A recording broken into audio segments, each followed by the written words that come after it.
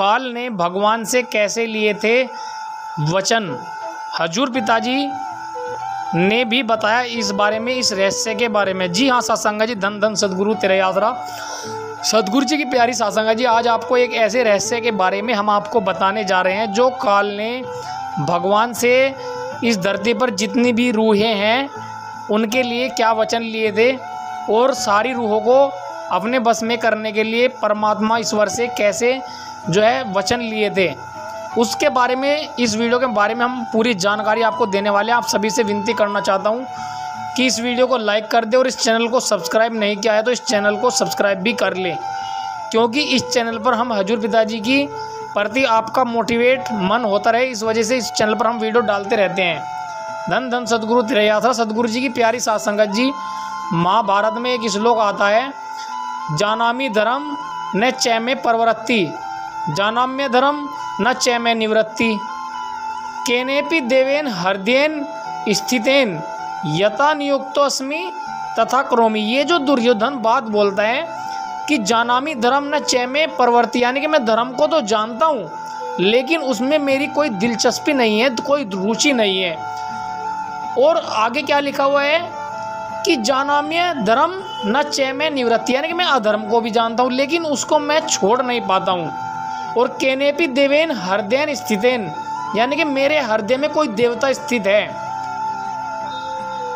यथा नियुक्तोस्मी तथा करोमी, यानी कि जो जैसा वो मुझे बोलता है, मैं वैसा करता चला जाता हूँ। कि इस तरीके से हजूर पिताजी के बारे में बिल्कुल सेम टू सेम यही बातें लिखी हुई आती है कि हजूर पिताजी जब सत्संग में बताते हैं कि काम, क्रोध, मोह, लोभ, अहंकार, मन और माया, ये काल के गुलाम हैं जो इंसानी रूप इंसानी चोले को जो है अपने वश में करके रहते हैं। लेकिन जब इस चीज़ से इंसान इनके काबू में नहीं होता तो ये इसके गुलाम भी होकर चलते हैं।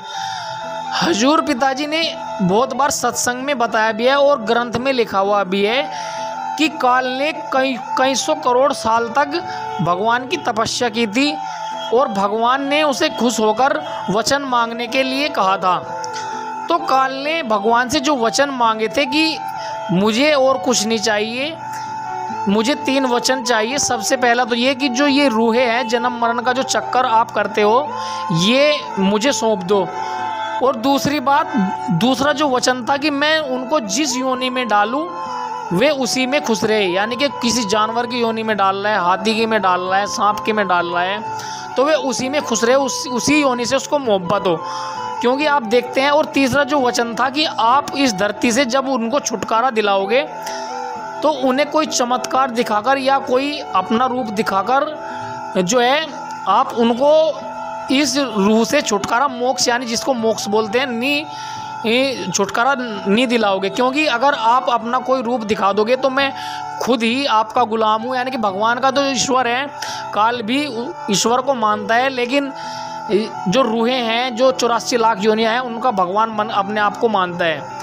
लेकिन सात संगत जी परमात्मा ने जो है, ईश्वर ने काल को ये तीन वचन दिए थे कि अगर हम इस धरती पर अवतारी रूप में आएँगे तो उन्हें समझा बुझाकर ही लेकर जाएँगे। ना कि कोई चमत्कार या ना कोई करिश्मा दिखाकर लेकर जाएँगे, ना कोई अपना असली रूप दिखाकर ले, लेकर जाएँगे, बल्कि उसी रूप में जो है जाएँगे और उन्हें समझा बुझा कर ही उससे मुक्ति दिलाने की कोशिश करेंगे। तो इस तरीके से जो है परमात्मा से जो है काल ने वचन लिए थे और इस रहस्य के बारे में हजूर पिताजी के जो ग्रंथ है, करिश्मे हैं उनके बारे में भी लिखा हुआ है।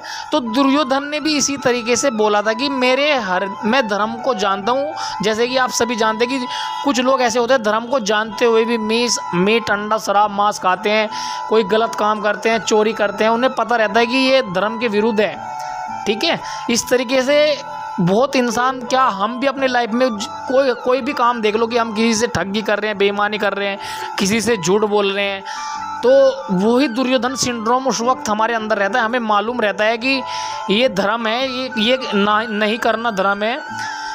अगर आप इसको, हम इसको नहीं करेंगे तो यही हमारा धर्म है और हम उसको कर लेते हैं, वो अधर्म हो जाता है। हमारे दिल से आवाज़ आती है कि भाई इसको करना गलत है, लेकिन उसका जो क्रेडिट है, हम उस परमात्मा को सौंप देते हैं कि जो हमारे हृदय में है। दुर्योधन भी यही बोलता है कि मैं अधर्म को छोड़ नहीं सकता, क्योंकि जब एक भगवान की मर्ज़ी के बिना पत्ता तक नहीं हिल सकता तो मैं कौन होता हूँ ये गलत काम करने वाला? यानी कि अपना जो क्रेडिट है वो पूरा दुर्योधन भगवान के ऊपर सौंप देता है, ईश्वर के ऊपर सौंप देता है कि भाई मैं इस पाप का भागीदारी नहीं हूँ। अपना जो पाप का भागीदारी जो है, वो ईश्वर को बना देता है कि ईश्वर की मर्ज़ी से ही मैं ये गलत कार्य कर रहा हूँ। जबकि आप जानते हो, आपको भी आपने भी अपनी लाइफ में महसूस किया होगा कि अगर आप कोई गलत कार्य करते हैं तो आपको एहसास होता है कि भाई एक एक आवाज़ आपके अंदर से आती है कि ये गलत है। लेकिन हम फिर भी ये सोचते हैं कि अरे, किसी को कुछ नहीं पता चलेगा कि कर लेते हैं। तो वो अधर्म हो जाता है एक तरीके से। तो जैसे आप देखते हैं कि कोई ठगी बेईमानी कर रहा है, कोई चोरी कर रहा है, वो जानता है कि इसका हमें भुगतान ज़रूर करना पड़ेगा, लेकिन वो ये बोलता है कि देखी जाएगी। इस तरीके से उसके मन में ख्याल आता है। कोई लड़की को छेड़ता है वो भी ये सोचता है कि कोई नहीं देख रहा है। लेकिन कहीं ना कहीं आपने केसेस ऐसे देखे होंगे कि उनका हसर बहुत बुरा होता है।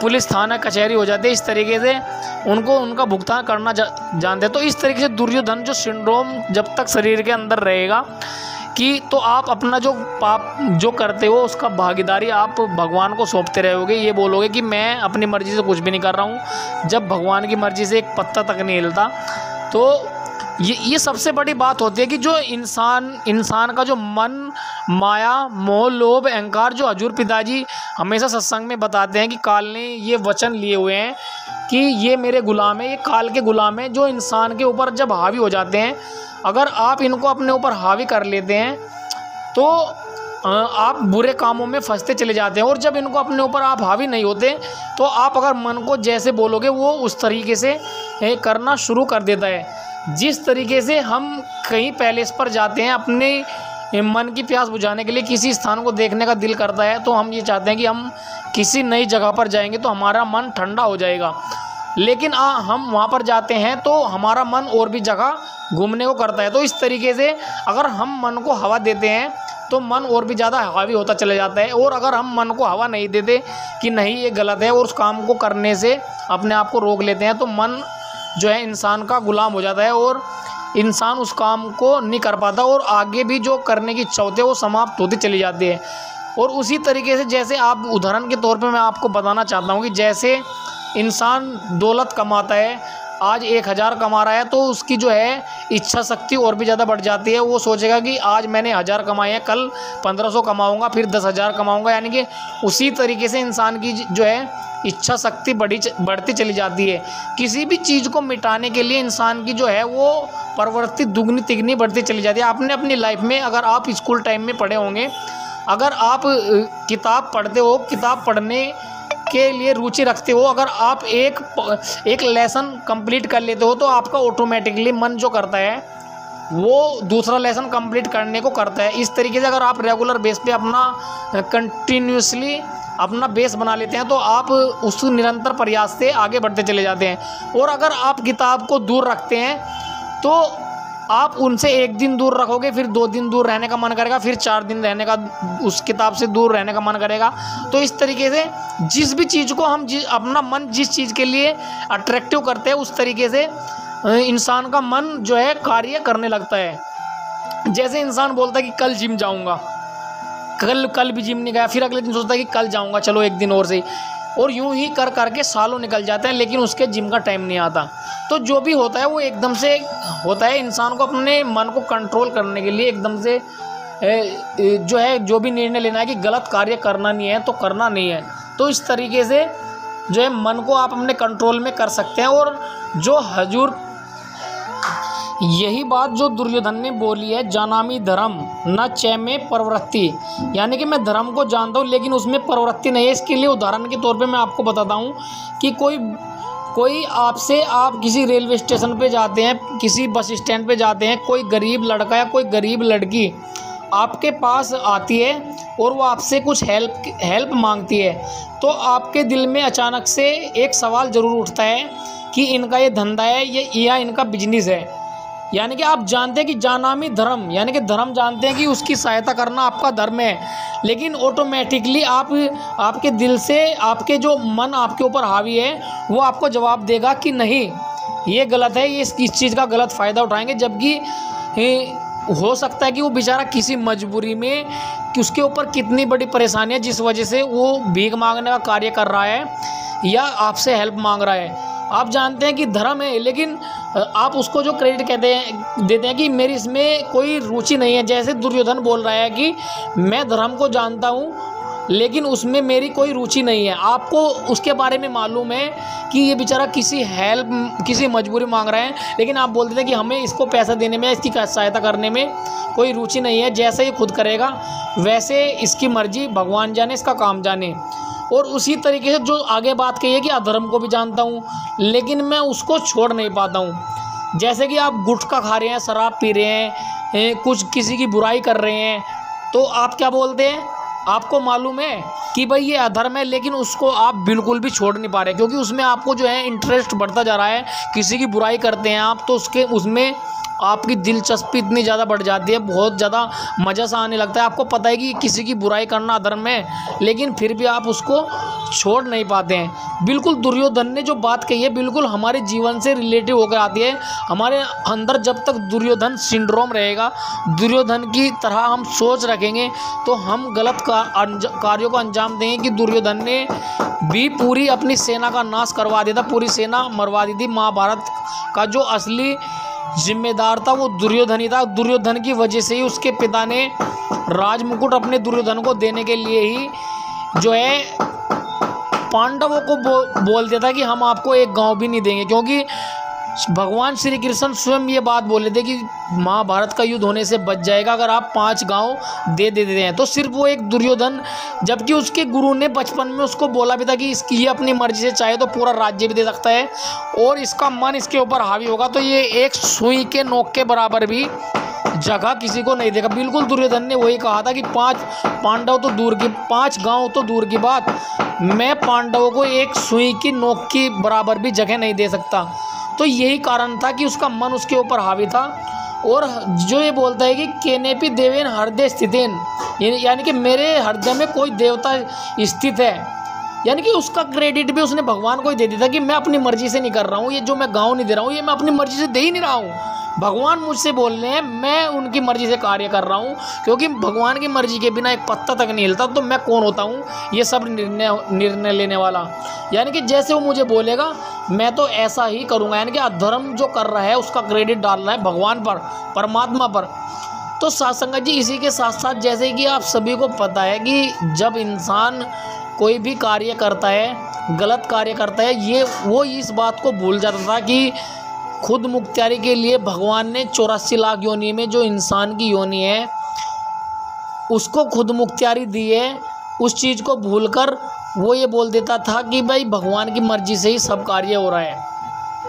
इस तरीके से दुर्योधन के द्वारा अपनी गलत फहमी को जो है दूर करना था, जिस वजह से अगर वो इस पर विचार कर लेता कि जो मन माया क्रो मा काम क्रोध मोलो अहंकार है, इनसे आज़ाद होने के लिए कभी भी आपको इनके बस में नहीं आना है। और जब आप इनसे दूर और काल ने भी ईश्वर से जो वचन लिए थे कि आप इस धरती पर अगर किस, कभी अवतार अवतार के रूप में जन्म लोगे या अवतारी रूप सत्या में जन्म लोगे तो उन, उस रूह को समझा बुझा कर ही आप लेकर जा सकते हैं। तो हजूर पिताजी को मेरा मन तो यही मानता है और मेरे दिल से यही आवाज़ आती है कि हमारे सदगुरु भी ईश्वर का रूप ही है क्योंकि समुद्र का एक बूंद भी एच टू होती है और पूरा समुंदर की तुलना करें तो वो भी एच टू होता है।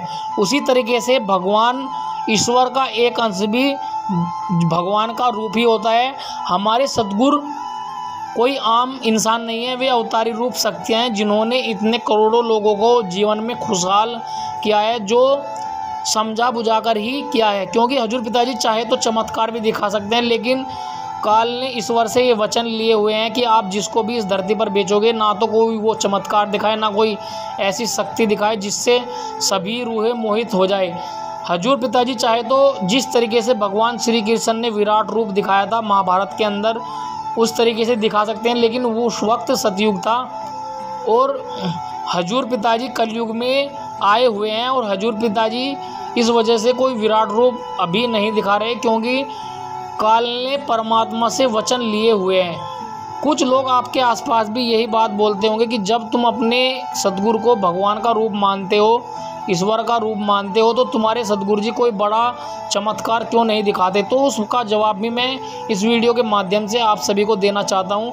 अगर कोई आप इस तरीके से बोले तो आप उसको एग्ज़ाम्पल के तौर पर भगवान श्री राम जी का उदाहरण दे सकते हैं। भगवान श्री राम जी भी आप जानते हैं कि रामायण में हम बिल्कुल साफ़ साफ़ शब्दों में लिखा हुआ है कि भगवान श्री राम जी भी विष्णु का अवतार थे और भगवान श्री कृष्ण भी विष्णु के अवतार थे।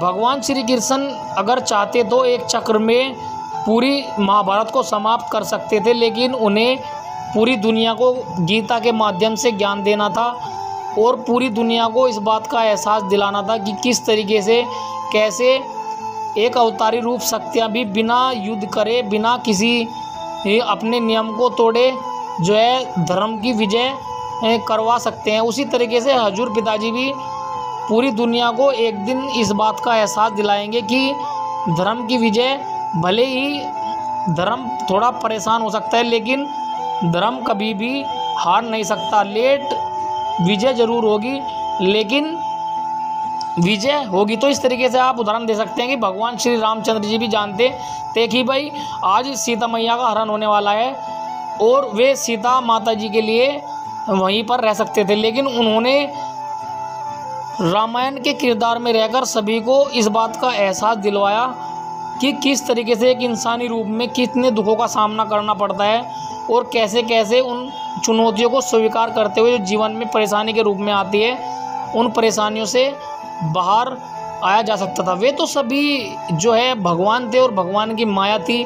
महाभारत में भी पांडवों को भी देखा जाए तो वो भी सिर्फ़ एक भगवान की माया ही थी, ताकि इस दुनिया का जो बेस है वो बना रहे उस तरीके से। जो है काल के लिए ये एक चुनौती है, जिस वजह से हजूर पिताजी कोई चमत्कार नहीं दिखा रहे, जिस वजह से जो है पूरी सासंगत के लिए ये एक बहुत बड़ा खुशी का अवसर भी मान सकते हो। अगर आप में थोड़ी बहुत भी समझ है, हजूर पिताजी ने इतने लोगों की जान बचाई है तो ये बहुत बड़ा चमत्कार है और जान बूझ कर ही मतलब समझा बुझा कर ही उनकी नशे से मुक्ति कराई है। तो सासंगत जी, अगर आप भी मानते हैं कि हमारे सदगुर अवतारी रूप सकते हैं, क्योंकि हजूर पिताजी कोई चमत्कार या कोई बड़ा करिश्मा इस वजह से नहीं करते कि काल ने जो है परमात्मा से ये वचन लिए हुए हैं। तो आप सभी ने जो भी आपसे इस तरह की बातें बोलता है हजूर पिताजी के बारे में तो भगवान श्री कृष्ण और भगवान श्री राम का उदाहरण आप दे सकते हैं, क्योंकि दुर्योधन के जो, जब तक दुर्योधन का सिंड्रोम सभी के अंदर रहता है तो वो अपना जो धर्म का कार्य से दूर रहते हैं और अधर्म के कार्यों में रुचि रखते हैं उनको छोड़ नहीं पाते हैं और उनका क्रेडिट जैसे दुर्योधन अपना सारे अधर्मों के कार्य का क्रेडिट भगवान को दे देता है कि हमारे, मेरे दिल में कोई भगवान, कोई देवता स्थित है जो मुझसे जैसा करवाता है, मैं ऐसा करता हूँ। पूरी महाभारत में दुर्योधन ने अधर्म का कार्य किया है, छल कपट किया है। मतलब उसने कोई, जो भी इस दुनिया के अंदर काम होता है, वो दुर्योधन ने पूरी महाभारत के अंदर किया है। तो आपको दुर्योधन के सिंड्रोम से बिल्कुल बाहर रहना है और अपने अंदर की जो हृदय की आवाज़ है, जबकि वो अपने मन की वजह से गलत कार्यों को अंजाम देता था और बोल देता था कि भाई मैं उसके कहने के अनुसार कि दिल में के अंदर जो भगवान वास करते हैं, मैं उसके कहने के अनुसार चलता हूँ। जबकि उसके ऊपर हावी है, वो मन है और लेकिन वो क्रेडिट दे रहा है भगवान को। अगर वो भगवान की जो अंतरात्मा की आवाज़ आते है, उसकी आवाज़ सुने तो वो कभी अधर्म नहीं करेगा। ऐसे ही इंसान अपने जीवन में जब तक अपने मन की आवाज़ सुनेगा तो अधर्म की ओर बढ़ेगा और जब अपने मन से दूर होकर परमात्मा की अपने आत्मा की आवाज़ सुनेगा तो वह गलत कार्य करने से बच जाता है। तो सासंग जी, इस तरह की जो वीडियो है हम हजूर पिताजी के प्रति आप सभी को मोटिवेट करेंगे जो गीता, भगवत गीता है, उसमें हजूर पिताजी के बारे में क्या क्या लिखा हुआ है और कैसे कैसे आज के हमारे जीवन के जो यूथ है, उसको समझ मिल सके। वीडियो के माध्यम से आपको समझाने की कोशिश करेंगे। अगर आपको कोई भी बात गलत लगी हो तो उसके लिए दिल से सॉरी चाहूँगा और वीडियो के लास्ट तक बनने के लिए प्रेम पूर्वक बहुत बहुत धन्यवाद। वीडियो को लाइक करना बिल्कुल भी ना भूलें।